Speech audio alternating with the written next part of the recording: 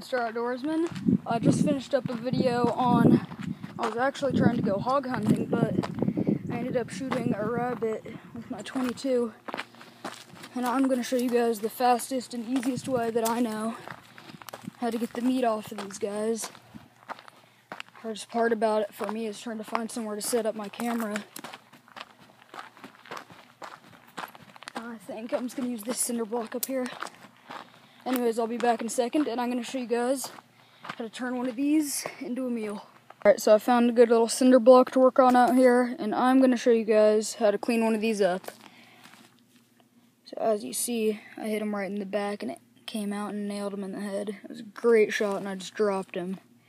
First thing we're going to want to do when you get one of these, the reason I'm using a fillet knife, because I have a tendency to lose pocket knives when I'm hunting, but first, it kind of did it for me, but the first thing you're going to want to do is make a slit. Not a slit, but just an incision into the fur right on its spine. And then I'm going to show you what to do after you finish that up. That was pretty easy. The bullet did most of the work for me, but once you get that little slit, I can't show you because I'm filming all these by myself, but you put one hand on this side and grip the fur, one hand on this side and grip the fur, and you just pull them apart and most of the fur. There might be a little bit left on the on the stomach, but it, that should pull the majority of the fur off of this guy. And I'll show you what, you're gonna want to do after that. All right. Well, I figured out how I how I can film this actually. All right, there's the rabbit. I figured out how I can set this up so I can actually show you guys this part. Wow. You're gonna grab the skin on both sides and just start pulling. And it's a little rough, but as you can see, it starts to expose everything gonna rip on both sides. So there's one chunk of rabbit fur. I actually, think I might keep this chunk and try to tan it. That's pretty. Look at that. That's a beautiful rabbit. Anyways, when you get down to the end, oh man, it's so dirty. All that should be left is the tail, its little fluffy feet, and the top is gonna be left. So you can just grab the the back legs or the body, continue to pull switch over to the stomach. And at this point, you can just kind of do whatever you need to. Alright, oh, I almost did it again. I dropped my camera. Haven't done anything since then, though. You just got bottom finished, working on the top. I accidentally bumped the camera when I was pulling on it. It fell face down. Anyways, just continue to work it. Just pulling chunks off. You can rotate around. Work on different pieces.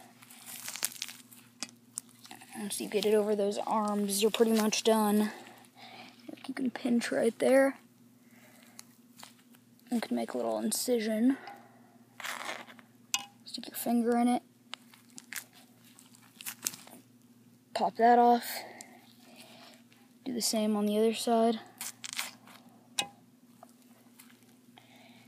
Find it pretty self-explanatory after you make that first incision. The fur just kind of peels off. And eventually, you have meat and guts, and all the fur should be around the, the head. And right here at this time, you're going to want to cut off the head. Don't know if I can show that on a YouTube video, but I'll be right back when that part's done. Well, now that we have a dusty rabbit, what we're going to want to do next is find the little joint where the foot and the leg meet and you're just gonna, gonna want to cut it off so we can get all that, all the foot off of the front and back legs. What you don't want to do is if you end up cutting too high and you end up cracking that bone that goes all the way up through the through the back legs, you're gonna have fragments of the bone that are mixing up and like stabbing the meat, and then that'll end up being in it when you're cooking it. So this is pretty important to try to find the right little spot. I think I got it right there. See the little bones lining up? And I'm just going to make a slit right there and get the feet off.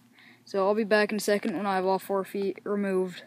Alright, well I got the two back off, one of the front, and I thought I'd just show you guys how I'm doing this on the front. As I said, it's hard to film these by myself, so couldn't show you the others, and I can only explain. I can't show you me actually doing it, but so what you're going to want to do is take some of the fur off, because there's most likely fur up to there still. You're going to want to peel it, then you start pinching it back, and then you just kind of push down as hard as you can and connect the foot to the ankle, and then you'll hear a little snap. And you're going to want to find where it cut in half and Then you can just use your knife and saw, and the knife will find the little path between the two bones, and then it should snap off, and it'll look something like that when it comes off. Anyways, I'm going to finish up this last one, and then I'll move on to how to gut these. Alright, there we go, it's removed. And if there's one part to be really cautious about when cleaning these guys, it's, it's gutting it. So again, I can't show you guys me actually doing it, but I can explain what I'm going to do. So, you're going to want to take your knife, and you can see you just kind of pinch it, and you make a little incision right there, so there's a little hole in the skin so you can get to the guts. You're going to want to put two fingers in, and just saw all the way down. And then you can scoop all the guts out, and I'll show you guys when I get it opened up. So we got them opened up. As I said, you just put your fingers and you cut all the way down. So now you can just grab the arms, and you can just kind of shake them around and stuff starts falling out.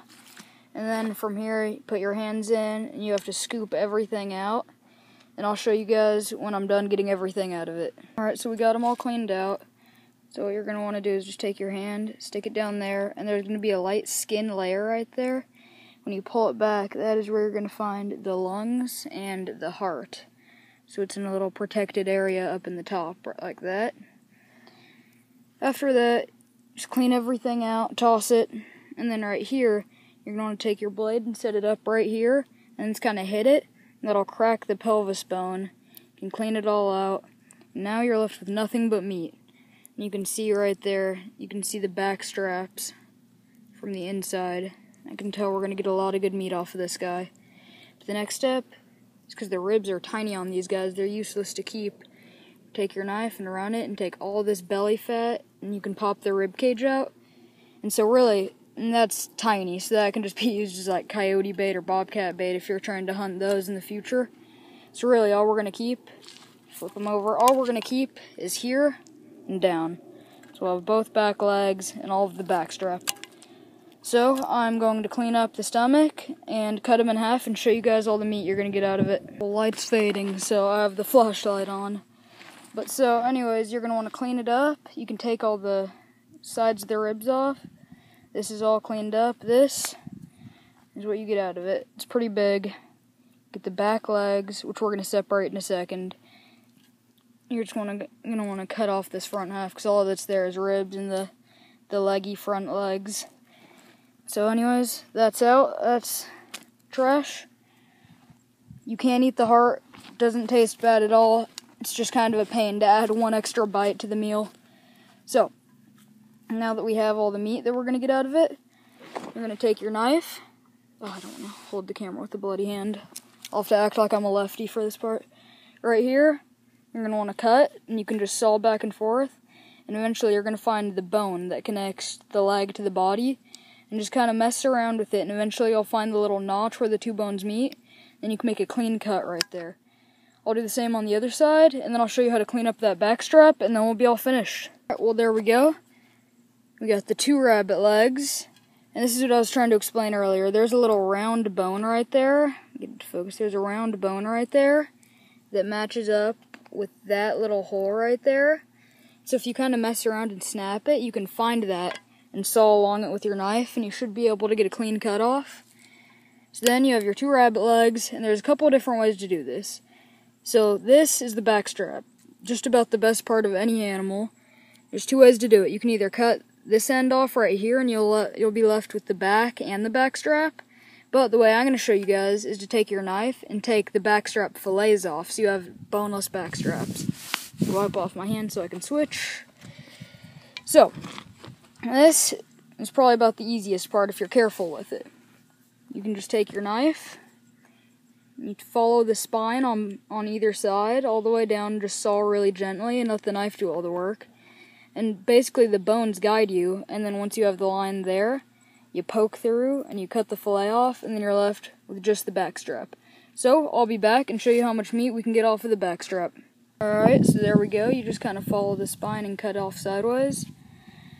And then all that's left right there is bones and a thin layer of meat. And these are the backstrap fillets. There's one, and that's just boneless. Really good meat. Better than the legs by far. There's the second strip. And if you were to make jerky out of it, if you have a dehydrator, that is the chunk of meat to do it with. And I've tried it multiple times. It turns out great. Oh, that hurt something. So, um, anyways, that makes two really good pieces of jerky if you have a dehydrator, but it really only makes sense if you have multiple rabbits.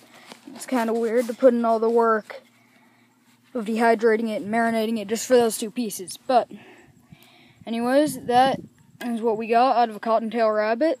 Thank you so much for watching, and if you didn't see the YouTube video I made earlier on the actual hunting video where I shot this rabbit, show some support and go go check it out.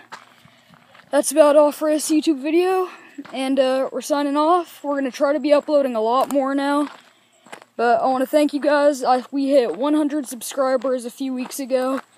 Uh, it's been a goal since we started the channel.